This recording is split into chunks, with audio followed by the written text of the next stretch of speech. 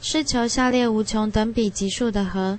第一小题，二分之一加四分之一加八分之一加到无穷。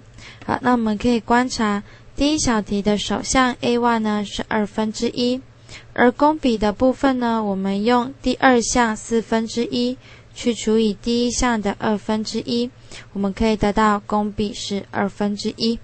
所以我们要求的无穷等比级数的和。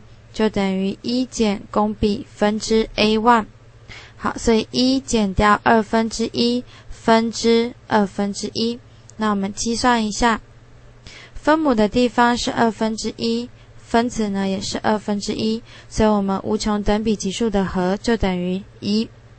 第二小题的部分呢，一减二分之一加四分之一减八分之一加十六分之一，一直到无穷。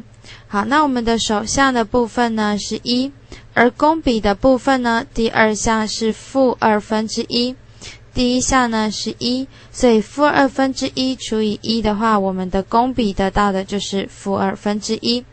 我们带到公式当中，无穷等比级数的和就等于一减公比分之首项。